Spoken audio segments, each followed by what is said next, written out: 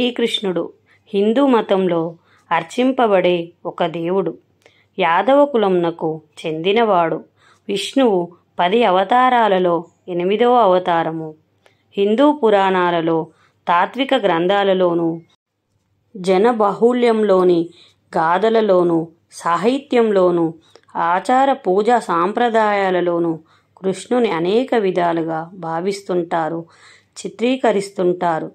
చిలిపి బాలునిగాను గోవుల కాపరిగా రాధా గోపిక మనోహరునిగాను రుక్మిణీ సత్యభామాది అష్ట మహిషుల ప్రభువుగాను గోపికల మనసు దోచుకున్నవాడిగాను యాదవరాజుగాను అర్జునుని సారథి అయిన పాండవ పక్షపాతిగాను భగవద్గీత ప్రబోధకునిగాను తత్వోపదేశకునిగాను దేవదేవునిగాను చారిత్రక రాజనీతిజ్ఞునిగాను ఇలా బహు విధాలుగా శ్రీకృష్ణుని రూపం వ్యక్తిత్వం దైవత్వం చిత్రీకరించబడి ఉన్నాయి.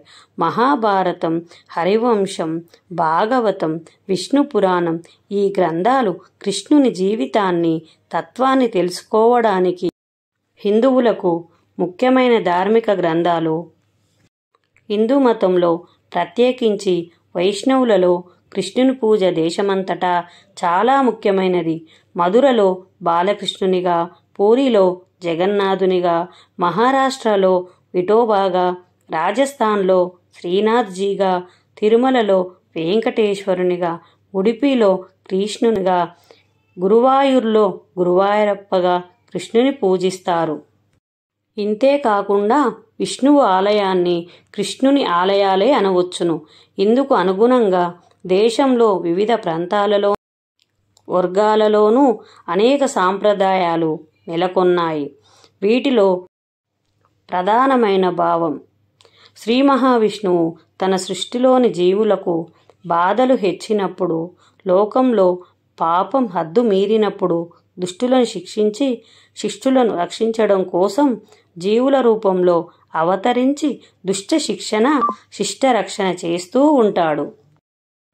ఈ విధంగా అవతరించడాన్ని లీలావతారం అంటారు. ఇలాంటి లీలావతారాలు భాగవతం ప్రకారం భగవంతునికి ఇరవై రెండు ఉన్నాయి. శ్రీ మహావిష్ణువు లీలావతారాలలో ఇరవదవ అవతారం కృష్ణావతారం. ఈ లీలావతారాలు ఇరవై రెండింటిలోనూ ముఖ్యమైనవి పది ఉన్నాయి. ఈ పదింటిని దశావతారాలు అంటారు. దశావతారాలలో శ్రీకృష్ణ అవతారం కొన్ని చోట్ల చెప్పబడుతుంది. కొన్ని చోట్ల చెప్పారు. యుగాలలో రెండవదైన త్రేతాయుగంలో శ్రీరాముని లోక కళ్యాణకుడిగా రావణాది రాక్షస శిక్షకుడిగా కీర్తించబడుతున్నాడు. నారాయణుడు ఆ తర్వాతదైన ద్వాపర యుగంలో శ్రీకృష్ణుడిగా అవతరించాడు. శ్రీకృష్ణుడు నారాయణుడి అవతారాల్లో పరిపూర్ణతావరంగా కొలవబడుతున్నాడు. గీతోపదేశం ద్వారా అర్జునుడికి సత్యదర్శనం చేసి కురుక్షే కురుక్షేత్ర మహాసంగ్రామాన్ని ముందుకు నడిపించాడు.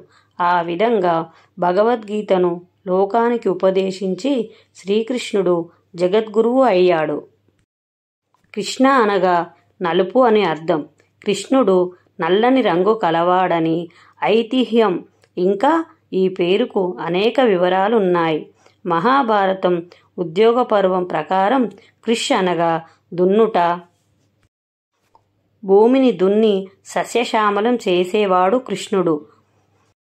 వల్లభ సాంప్రదాయం బ్రహ్మ సంబంధ మంత్రం ప్రకారం పాపాలను నాశనం చేసే మంత్రం కృష్ణ. చైతన్య చరితామృతంలో చెప్పిన అర్థం ప్రకారం మహాభారత వాక్యం ఆకర్షించేవాడు కృష్ణుడు. భాగవతం ఆత్మరామ శ్లోకంలో కూడా భావం చెప్పబడింది. విష్ణు సహస్రనామం యాభై ఏడవ పేరుగా వచ్చిన కృష్ణ అనగా సచ్చిదానంద స్వరూపంను సూచించుచున్నది అని ఆదిశంకరాచార్యుడు వివరించాడు. ఇంకా కృష్ణునికి గోవిందుడు గోపాలుడు వాసుదేవుడు వంటి అనేక నామాలున్నాయి. జగన్నాథుడు విఠోబా వంటి పేర్లు కొన్ని ప్రాంతాలలో లేదా సాంప్రదాయాల్లో ప్రాచుర్య ప్రాచుర్యం కలిగి ఉన్నాయి.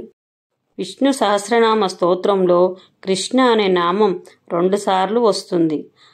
ఆగ్రహ్య శాశ్వత కృష్ణో లోహితాక్ష ప్రతర్జన వేద స్వాంగో జిత కృష్ణో దృఢ సంకర్షణోచ్యుత ఈ రెండు సందర్భాలలోనూ వివిధ వ్యాఖ్యానకర్తలు వివిధ భావాలను తెలిపారు సృష్ట్యాది లీల విలాసముల ద్వారా సచ్చిదానంద క్రీడలో వినోదించువాడు. నల్లని వర్ణం కలవాడు నీలమేఘశ్యాముడు తన అనంత కళ్యాణ గుణములతో భక్తులను ఆకర్షించువాడు. నాగలి వలె భూమిని దున్ని జీవ సమృద్ధి కలిగించువాడు. కృష్ణ ద్వయపాయనుడైన వేదవ్యాసుడు వ్యాసునిగా వేదములను విభజించి భక్తులకు మనోవ్యవసాయము కలిగించి జ్ఞానమును పండించువాడు. కానరాని తెలియరాని అందజాలని వాడు సంపూర్ణ భక్తికి మాత్రమే లభ్యమయ్యేవాడు. అనేక దేవాలయాల విగ్రహాలలోనూ ఇతర శిల్పాలలోనూ చిత్రాలలోనూ ప్రార్థనలోనూ కావ్యాలలోనూ సాహిత్యంలోనూ పురాణాలలోనూ సినిమాలోనూ కృష్ణుని రూప స్వభావాల చిత్రణ ఉంది. ఉదాహరణగా కృష్ణాష్టకం అనే ప్రార్థనలో కృష్ణుని వర్ణించిన విధానం దేవకీ వసుదేవుల నందనుడు కంసచానూర మర్దనుడు నల్లని మేనికాంతి కలవాడు. నెమలి పింఛము వివిధ ఆభరణములు మందారమాల పీతాంబరములు తులసిమాలలు ధరించినవాడు. మెలిదిరిగిన ఉంగురులు కలవాడు. రుక్మిణి సత్యభామాది భామలతో విహరించువాడు. గోపికల కుచముల కుంకుమ అంటిన వక్షస్థలం శ్రీవత్స చిహ్నము కలవాడు. వనమాల శంఖ చక్రములు ధరించువాడు. తెలుగు నాట పోతన శ్రీమదాంధ్ర భాగవతం అత్యంత ప్రాచుర్యం కలిగిన గ్రంథం. ఇందులో కృష్ణుని రూప స్వభావ వర్ణన అనేక పద్యాలలో ఉంది. పోతన వాడిన కొన్ని వర్ణనలు. నల్లనివాడు పద్మ నయనమ్ములు కలవాడు. నవ్వు రాజిల్లెడు మోమువాడు. మౌలి పరిసర్పిత పింఛమువాడు. సుధార సమ్ము పై జల్లెడ జల్లెడువాడు. యదుభూషణుడు నర సకుడు శృంగార రత్నకరుడు. లోకద్రోహి నరేంద్ర వంశదాహకుడు. లోకేశ్వరుడు నిర్వాణ సందక సందాయకుడు. భక్తవత్సలుడు బ్రాహ్మణ్యండు గోవిందుడు పాండవులకు సకుడు సారథి సచివుడు నెయ్యము వియ్యము విభుడు గురువు దేవుడు ఇలా లెక్కలేలన్ని వర్ణనలున్నాయి. అన్నమయ్య చెప్పిన కొన్ని వర్ణనలు ముద్దుగారే యశోద ముంగిట ముత్యము. కాలింది పడగలపైని కప్పిన పుష్యరాగం. రతికేలి రుక్మిణికి రంగుమోవి పగడము. కృష్ణుని జీవితం. వివిధ గ్రంథాలలో కృష్ణుని జీవిత వృత్తాంతం ఉంది. వాటిలో భాగవతంలో ఉన్న కథా క్రమం ప్రజలకు సుపరిచితమైనది. ఇందులో నవమ స్కందములో వసుదేవుని వంశక్రమం ఉంది. తర్వాత దశమ స్కందం ఏకాదశ స్కందములో కృష్ణుని జీవిత వృత్తాంతం ఉంది. సంభాషణలో శ్రీకృష్ణుని లక్షాగృహ దహనాంతరం కృషపరవేశం అవుతుంది. అక్కడి నుండి కురుక్షే కురుక్షేత్ర సంగ్రామం చివరి వరకు కృష్ణుని కథ పాండవుల కథకు సమాంతరంగా నడుస్తుంది. మహాభారతం చివరిలో కృష్ణుని నిర్యాణం ఉంది. భాగవతం కథారంభంలోనే కృష్ణుని నిర్యాణం చెప్పబడింది. వీటిలో నుండి సంగ్రహించబడిన కృష్ణుని కథ ఇది. శ్రీకృష్ణుడి జననం. లోకంలో అధర్మం ప్రబలినందున భూదేవి బ్రహ్మదేవుల ప్రార్థన మేరకు భగవంతుడు దేవకీ వసుదేవులకు జన్మింపదలిచాడు. మధురా నగరాన్ని యాదవ క్షత్రియ వంశానికి చెందిన శూరసేన మహారాజు పరిపాలిస్తుండేవాడు. ఆయనకు వసుదేవుడు అనే కుమారుడు ఉండేవాడు.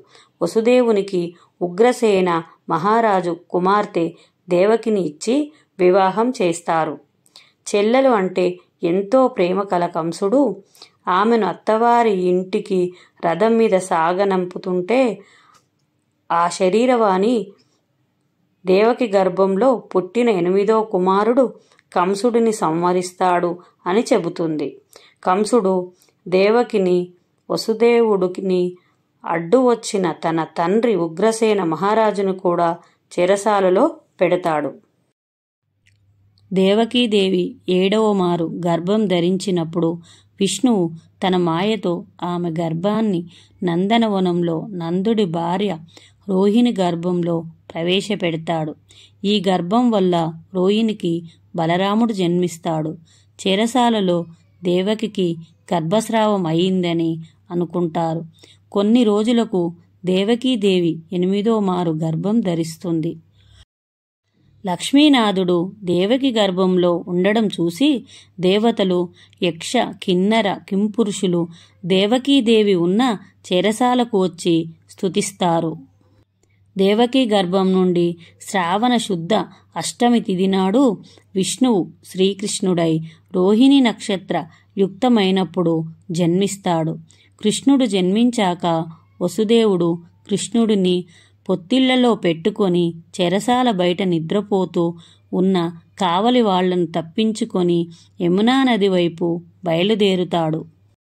యమునా నది రెండుగా చీలిపోతుంది. నందనవనంలో తన స్నేహితుడైన నందుని ఇంటి నందుని ఇంటికి వెళ్ళి యశోద ప్రక్కన ఉన్న శిశువు ప్రదేశంలో శ్రీకృష్ణుడిని విడిచి ఆ శిశువుని తీసుకుని తిరిగి చెరసాలకు వస్తాడు.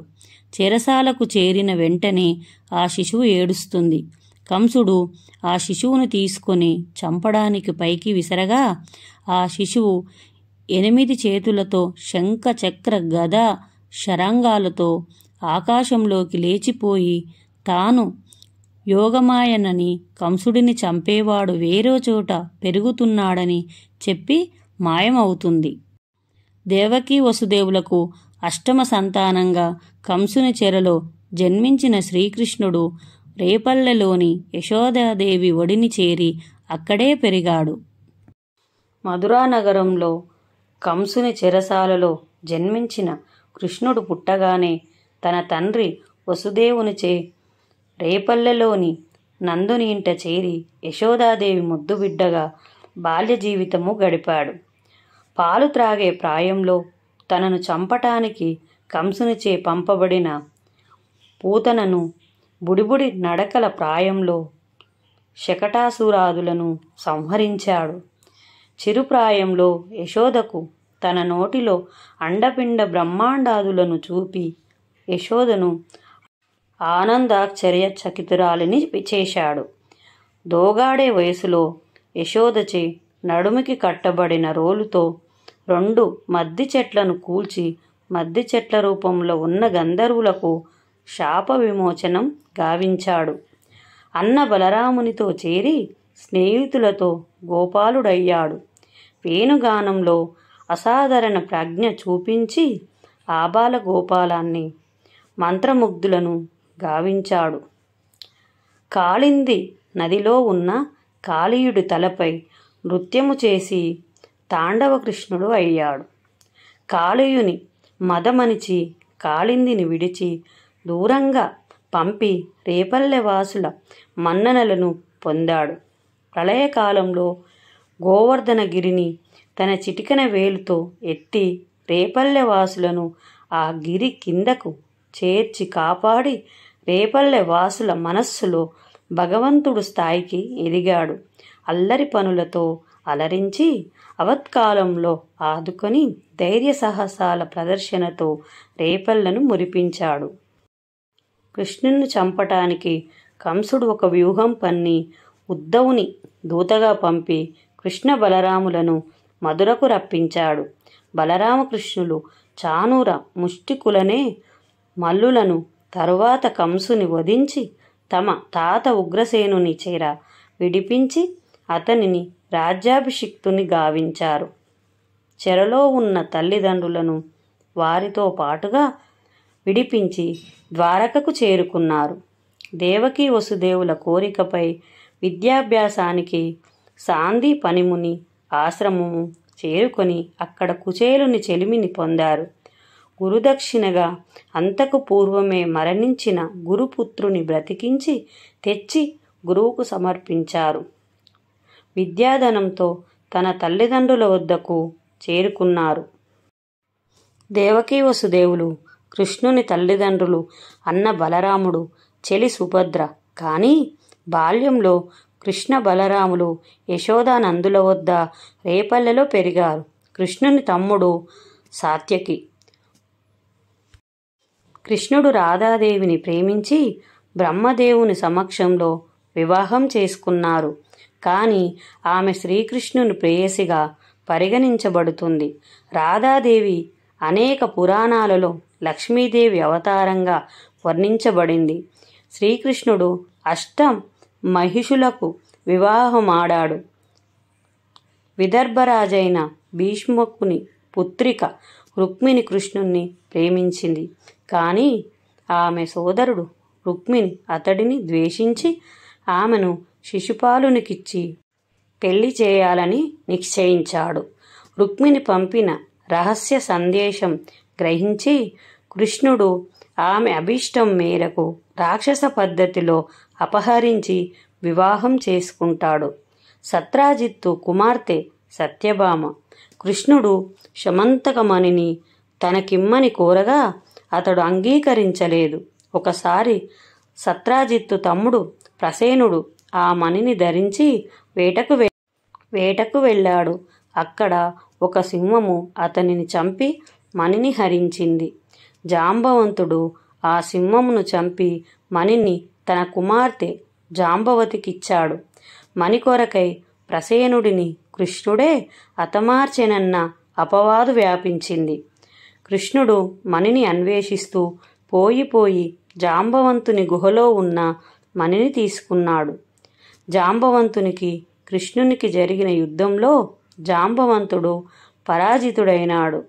శ్రీకృష్ణుని శ్రీరాముని అవతారంగా గుర్తించిన జాంబవంతుడు మణితో సహా కూతురు జాంబవతిని అతనికి సమర్పించాడు. మణిని తెచ్చి సత్రాజిత్తునకిచ్చాడు. అప్పుడు సత్రాజిత్తు మణితో పాటు తన కుమార్తె సత్యభామను కృష్ణునికిచ్చి వివాహం చేసెను. కాళింది. భద్ర నాగ్నజితి మిత్రవింద లక్షణ అతని ఇతర భార్యలు. భద్ర శ్రీకృష్ణుని తండ్రియగు వసుదేవుని చెల్లె అయిన శృతకీర్తి పుత్రిక మిత్రవింద కూడా అవంతిరాజు పుత్రిక. మేనత్త కూతురు ఆమెను స్వయంవర స్వయంవరంలో వరించి కృష్ణుడు చేపట్టాడు. కోసల దేశాధిపతి నగ్నజిత్తుకు ఏనుగుల వంటి బలం కలిగిన ఏడు వృషభాలు ఉండేవి. వాటిని నిగ్రహించిన వానికి తన కుమార్తె నాగ్నజితిని ఇచ్చి వివాహం చేస్తానని ప్రకటించాడు. కృష్ణుడు ఏడు రూపాలు దాల్చి ఏడు ఎద్దులను బంధించాడు. రాజు పుత్రికనిచ్చి పరిణయం చేశాడు. లక్షణమద్ర దేశాధిపతి కూతురు స్వయంవరంలో కృష్ణుణ్ణి వరించింది. ఈ విధంగా కృష్ణుని ఎనమండుగురు భార్యలు అష్టమహిషులుగా విలసిల్లారు. సుభద్రను అర్జునికిచ్చి పెళ్ళి చేశారు. వారి కొడుకు అభిమన్యుడు కృష్ణునికి మేనల్లుడు. కృష్ణుడికి భార్యలందరితోనూ ఒక్కొక్కరి వల్ల పదేసి మంది పిల్లలు పుట్టారు. రుక్మిణి వల్ల కృష్ణుడికి ప్రద్యమ్నుడు చారుదేష్టుడు సుదేష్టుడు చారుదేహుడు సుబారుడు చారుగుప్తుడు భద్రాచరుడు చారుచంద్రుడు విచారుడు చారుడు అనే బిడ్డలు కలిగారు. సత్యభామ వల్ల కృష్ణునికి బాణుడు సుబానుడు స్వర్బానుడు ప్రభానుడు భానుమంతుడు చంద్రబానుడు బృహద్బానుడు అతిబానుడు శ్రీబానుడు ప్రతిభానుడు అనే బిడ్డలు కలిగారు. జాంబావతి శ్రీకృష్ణులకు సాంబుడు సుమిత్రుడు పురజిత్తు శతజిత్తు సహస్రజిత్తు విజయుడు చత్రకేతుడు వసుమంతుడు ద్రవిడుడు క్రతు అనే సంతానం కలిగింది. జాంబవతికి కలిగిన ఈ బిడ్డలంటే కృష్ణుడికి ప్రత్యేకమైన ప్రేమ ఉండేది. నాగ్నజితి కృష్ణులకు వీరుడు చంద్రుడు అశ్వసేనుడు చిత్రగుడు వేగవంతుడు ఋషుడు లమ్ముడు శంకుడు వసుడు కుంతి అనే పిల్లలు కలిగారు. కృష్ణుడికి కాళింది వల్ల శృతుడు కవి ఋషుడు వీరుడు సుబాహుడు భద్రుడు శాంతి దర్శుడు పూర్ణమానుడు శోమకుడు అనే కుమారులు జన్మించారు. లక్షణకు శ్రీకృష్ణుడికి ప్రఘోషుడు గాత్రవంతుడు సింహుడు బలుడు ప్రబులుడు ఊర్ధ్వగుడు మహాశక్తి సౌ సౌడు ఓజుడు అపరాజితుడు అనే సంతానం కలిగింది. మిత్రవింద కృష్ణులకు వృక్షుడు హర్షుడు అనిలుడు గృద్ధుడు వర్ధనుడు అన్నాదుడు మహర్షుడు పావనుడు వైణిక్షుది అనే పుత్రులు పుట్టారు. కృష్ణుడికి భద్ర అనే భార్య వల్ల సంగ్రమాజిత్తు బృహత్సేనుడు శూరుడు ప్రహరుడు అరిజిత్తు జియుడు సుభద్రుడు వాయుడు ఆయువు సత్యకుడు అనే పిల్లలు పుట్టారు. చాలామంది అపోహపడుతున్నట్లుగా శ్రీకృష్ణుడికి పదహారు వేల మంది భార్యలతో శారీరక బంధం కలిగి ఉండలేదు. పదహారు వేల గోపికల గోపికా స్త్రీలను నరకాసురుని బారి నుండి కాపాడి సంఘములో సముచిత స్థానం కల్పించాడు. భర్త అనగా భరించువాడు అను నానుడి ప్రకారం ఒక పురుషుని వంచన చేరి అతని నివాసమునందు నివసించు స్త్రీలకు అతడే భర్తగా నిర్ణయించే అప్పటి కాల మానస్థితి గతులను బట్టి శ్రీకృష్ణుడికి భార్యలుగా చెప్పబడ్డారు. కానీ పైన చెప్పబడిన అష్ట అష్టమైషాలతోనే కృష్ణునికి సంతానం కలిగినది. అని గ్రంథాలు ఉద్ఘటిస్తున్నాయి. ద్వారకా నగరంలో లోకంలో అధర్మం ప్రబలినందున భూదేవి బ్రహ్మదేవుల ప్రార్థన మేరకు భగవంతుడు దేవకీ వసుదేవులకు జన్మింపదలిచాడు. ఒకమారు పారిజాత పుష్పం కారణంగా కృష్ణుడు ఇంద్రునితో పోరి స్వర్గలోకం నుండి పారిజాత తరువును తెచ్చి సత్యభామకు ప్రీతి కూర్చాడు. లోకాలను బాధిస్తున్న నరకాసురుని వధించి అతని కొడుకు భగదత్తునికి పట్టం కట్టాడు. నరకునిచే బంధింపబడిన రాజకన్యలను కృష్ణుడి పెండ్లాడి అందరి పట్ల తన మాయా ప్రభావంతో సంసారం నెరపాడు. శ్రీకృష్ణుని అతిశయాన్ని చూసి ఓర్వలేక కాలయవనుడు జరాసంధుడు సాల్వుడు వంటి వారు కృష్ణునిపై దండెత్తారు. శ్రీకృష్ణుడు వారిని ఓడించాడు. ఇంకా ద్విధుడు దంతవక్తుడు మొదలైన వారు కూడా కృష్ణుని చేత హతులైనారు. మహాభారతంలో మేనత్త కుమారులైన పాండసుతులతో శ్రీకృష్ణుని అనుబంధం మరవరానిది. పాండవ మధ్యముడైన అర్జునితో చెలిమి విడదీయరానిది. పాండవుల జీవితంలో జరిగిన ప్రతి సంఘటనలోనూ శ్రీకృష్ణుని పాత్ర ఉంది. శ్రీకృష్ణుని సంప్రదించకుండా ధర్మరాజు శకునితో ఆడిన జూదము తప్ప మిగిలినవన్నీ శ్రీకృష్ణుని సలహా సంప్రదింపులతోనే జరిగినవే. కీలకమైన సమస్యలన్నీ కృష్ణుని సహాయంతో తీరినవే.